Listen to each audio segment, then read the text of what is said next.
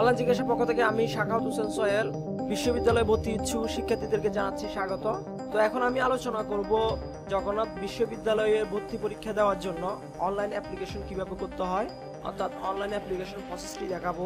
যারা এখনও আমাদের চ্যানেলে সম্পূর্ণ নতুন, তারা অবশ্যই সাবস্ক্রাইব বাটনে ক্লিক করে নোটিফিকেশন বেলটি অন করে রাখবে, যাতে আমাদের দেওয়া প্রতিটি আপডেট তোমাদের কাছে পৌঁছতে পারে খুবই সহজে।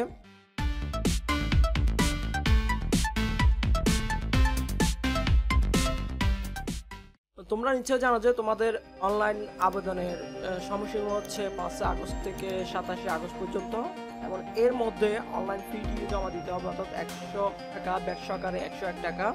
এটা হচ্ছে প্রাথমিক ফি তারপর প্রাথমিক ফি এর পরে তোমাদের যখন শিক্ষা, ভর্তি পরীক্ষা দেওয়ার জন্য একটা লিস্ট দিবে, তিরিশ হাজার শিক্ষার্থী, তখন ভর্তি ফি দিতে হবে সাতাশে আগস্ট থেকে পনেরোই নভেম্বরের মধ্যে। এটা এক, দুই তিন ইউনিটের জন্য পাঁচশো পাঁচ টাকা দিতে হবে। বিকাশ রকেট বা শিরকাশের মাধ্যমে। আর সার্কুলার ইউনিটের জন্য দিতে হবে চারশো চার টাকা।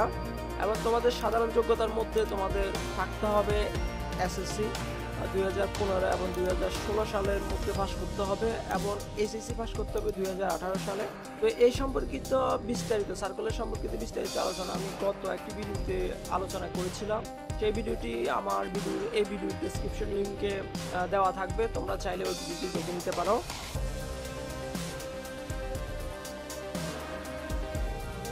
তো আমাদেরকে আবেদন অনলাইনে আবেদন করতে হলে প্রথমে এই অ্যাড্রেসে যেতে হবে, অর্থাৎ admission J N U dot info admission J N U dot info যাওয়ার পর এখানে তোমরা প্রসপেক্টিভস পাবে, এখানে অ্যাডমিশন সার্কুলার পাবে, এখানে অ্যাডমিশন প্রসিডিউর সম্পর্কে কিছু জিনিস আছে, ওগুলো পাবে এবং পেমেন্ট প্রসিডিউর কীভাবে পেমেন্ট করতে হয় সেটিও এখানে আছে।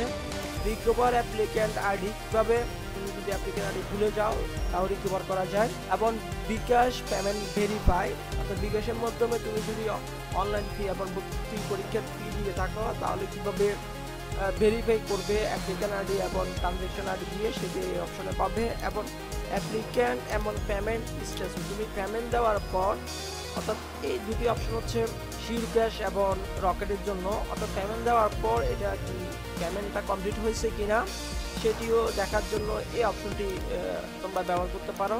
এবং পরবর্তীতে এই অপশনগুলো হচ্ছে তোমাদের ইউনিট ভিত্তিক অ্যাপ্লিকেশনের জন্য। আর অ্যাপ্লিকেশনের আগে অবশ্যই তোমরা সার্কুলারটি পড়ে নিবে। আমি একটু করে দেখে দিচ্ছি, এখানে ক্লিক করলে কি হয়? এখানে ক্লিক করার পর তোমার অ্যাপ্লিকেশন সম্পর্কিত সম্পূর্ণ প্রসিডিউর এখানে আছে। যেটাকে আমরা ফসফেটেক্স বলি। গুলো আছে, সাথে সাথে কোন ইউনিটে কতগুলো সাবজেক্ট আছে, সেটিও আছে এবং পরীক্ষার ধরন কেমন হবে সেগুলো এখানে আছে। অ্যাডমিশন সার্কুলার এখানে অ্যাডমিশন সার্কুলার ক্লিক করলে তাও একই ধরনের সংক্ষিপ্ত ফরম্যাটে একটা সার্কুলার দেওয়া আছে, ওটাও দেখতে দেখতে পারো। এই সার্কুলারটি অবশ্যই আমাদের জিজ্ঞাসা ডট কমে আছে। চাইলে ওইখানেও থেকেও তোমরা দেখে নিতে পারো। দেন এখানে আছে অ্যাপ্লিক্যান্ট প্রসিডিউর এখানে এরকম একটা পেজ ওপেন হবে অর্থাৎ তোমার ভর্তি পরীক্ষার সময়সীমা আছে। দেন এখানে পেমেন্ট প্রসিডিউর আছে। পেমেন্ট প্রসিডিউরের জন্য অর্থাৎ বিকাশ ফিউল ক্যাশ এবং রকেটের মাধ্যমে কীভাবে পেমেন্ট করতে হয় সেটা এখানে আছে। দেন এখানে recover applicant ID recover applicant আইডির জন্য তোমাকে এসএসসি রুল নাম্বার এবং এসসি রুল নাম্বার দিয়ে রিকভার অপশনে ক্লিক করে অ্যাপ্লিক্যান্ট আইডিটা উদ্ধার করা যাবে। দেন এখানে আছে বিকাশ পেমেন্ট ভেরিফিকেশন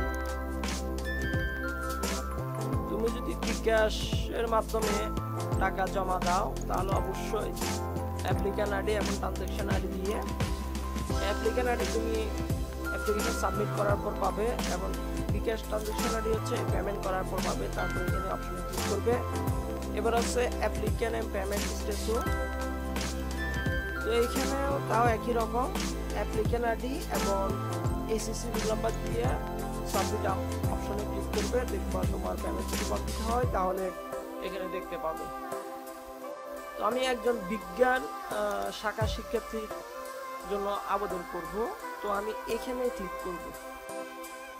করার পর পর আমাদেরকে এরকম একটা ইন্টারফেস ওপেন হবে, অর্থাৎ এখানে এসএসসি এবং এসএসসি রুল নাম্বার বা তথ্য দিতে হবে, এখানে রুল নাম্বার দিতে হবে এসএসসি এখানে পাশে ইয়ার সিলেক্ট করতে হবে, এখানে বোর্ড সিলেক্ট করতে হবে, এখানে অ্যাপ্লিক্যান্ট আইডির জন্য এখানে এখানে ভুল আছে অ্যাপ্লিক্যান্ট আইডি হবে না এটা এসএসসি রুল নাম্বার হবে এখানে।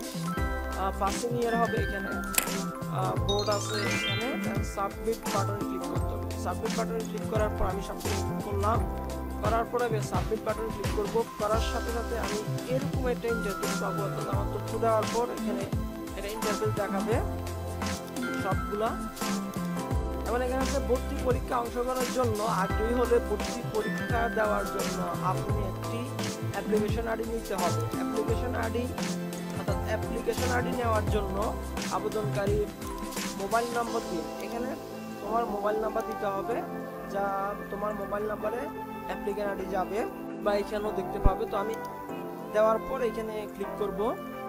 করার পর পর এখানে আমি এটা হাইড করে রাখলাম কারণ এটা দরকারি জিনিস। তো এরকম একটা ইন্টারফেস ওপেন হবে ইন্টারফেসে তোমার অ্যাপ্লিকেশন আইডি থাকবে।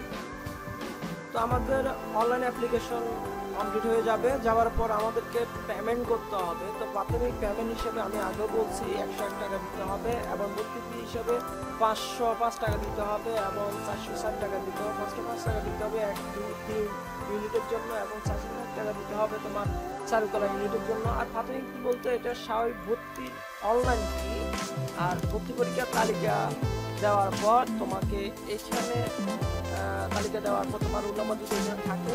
পাঁচশো পাঁচ টাকা এবং চারশো ষাট টাকা দিতে হবে। অর্থাৎ এক, দুই, তিন ইউনিটের জন্য পাঁচশো পাঁচ টাকা এবং চারশো ষাট টাকা দিতে হবে যারা ইউনিটে দিতে হবে। এবং তোমার পেমেন্টটা করতে হওয়ার পরে আমি আগে বলেছি বিকাশ, রকেট এবং শিব ক্যাশের মাধ্যমে। বিকাশের মাধ্যমে যেভাবে পেমেন্টটা দিবে, সেটা হচ্ছে তোমাকে ডায়াল করতে হবে মোবাইল অপশন দিয়ে স্টার ফোর সেভেন হ্যাশ এবং পেমেন্ট অপশন বাছাই করার জন্য টি প্রেস করতে হবে। তারপর মাস্টার অ্যাকাউন্টের মধ্যে তোমাকে এই নাম্বারটি দিতে হবে, zero one nine nine four five five five six six six এই নাম্বারটি দেওয়ার পর ইন্টার করে তোমাকে অ্যামাউন্ট দিতে হবে। অ্যামাউন্ট একশো এক টাকা দিবে। Then reference ID reference ID হিসেবে তোমাকে ইনপুট করতে হবে তোমার অ্যাপ্লিকেন্ট আইডি বা অ্যাপ্লিকেশন আইডিটি এখানে ইনপুট করতে হবে দেন কাউন্টার নাম্বার পরবর্তী কাউন্টার নাম্বার হিসেবে এক দিতে হবে এবং বিকাশের পিন দেওয়ার পর এরকম একটা ভেরিফিকেশন আমরা সাকসেসফুলি মেসেজ আসবে কনফার্মেশন মেসেজ যেখানে এইখানে এই অপশনটি দেখো, এখানে ট্রানজেকশন আইডি আছে, এই ট্রানজেকশন আইডি এবং তোমার application ID application ID use করে তোমাকে বিকাশের ভেরিফাই করতে হবে, বিকাশ মানে পেমেন্টটা ভেরিফাই করতে হবে। না হলে তোমার অ্যাপ্লিকেশন পেমেন্ট সম্পূর্ণ হবে না অ্যাপ্লিকেশন সম্পূর্ণ হবে না। এবার আসব শিল ক্যাশের মাধ্যমে কীভাবে পেমেন্টটা করতে হবে। তো শিল ক্যাশের মাধ্যমে যারা রূপলী ব্যাংকের অ্যাকাউন্টে শিল ক্যাশ আছে তার শিল ক্যাশের মাধ্যমে পেমেন্টটা করতে পারবে। সেটা হচ্ছে মোবাইলের ডায়াল অপশনে গিয়ে লিখতে হবে star four nine five hash দেওয়ার পর এখানে কল বাটনে ক্লিক করলে পেমেন্ট অপশনের জন্য পেমেন্ট বাছাই করার জন্য ফোর পেস করতে হবে এবং পেমেন্ট কিওয়ার্ড হিসেবে ব্যবহার করতে হবে। জগন্নাথ ভার্সিটির একটা keyword J N U app এবং তোমার অ্যাপ্লিকেশন আইডিটি দিবে। দেওয়ার পর কাস্টমার আইডি অপশন আসবে, যেখানে তোমার নাম্বারটা দিবে এবং পিন নাম্বার দিয়ে দিলে একটা কনফার্মেশন মেসেজ আসবে তোমার মোবাইলে এবার আসা যাক, রকেটের মাধ্যমে কীভাবে পেমেন্ট প্রদান করবে। রকেটের মাধ্যমে পেমেন্ট প্রদান করতে হলে ডায়াল করতে হবে স্টার হ্যাশ ডায়াল করার পর অপশনে তারপর ডায়াল করতে হবে। ওয়ান পেমেন্ট অপশন বেশি নেওয়ার জন্য। এবং আবার পুনরায় ডায়াল করতে হবে ওয়ান বিল পের জন্য। এবং তারপর যদি নিজের মোবাইল অ্যাকাউন্ট থেকে হয় অর্থাৎ মাধ্যমে তাহলে সেলফ অপশনে ক্লিক করতে হবে অথবা dial to others number dial যদি যদি ডায়াল ক্লিক করলে যে নাম অ্যাকাউন্ট থেকে রকেটের মাধ্যমে পেমেন্টটা করবে। আদার্স অপশনের মধ্যে এখানে ওই অ্যাকাউন্টের নাম্বারটা দিতে হবে। দেন ইনপুট করতে হবে স্টুডেন্ট নাম্বার দেন ইন্টার বিলের আইডি হিসেবে ইনপুট করতে হবে থ্রি নাইন নাইন এবং ইন্টার বিল নাম্বার হিসেবে করতে হবে অ্যাপ্লিক্যান্ট আইডি অর্থাৎ স্টুডেন্টের আইডি ইউজ করতে হবে এবং পিন নাম্বার দিয়ে পেমেন্ট পরিশোধ করতে হবে।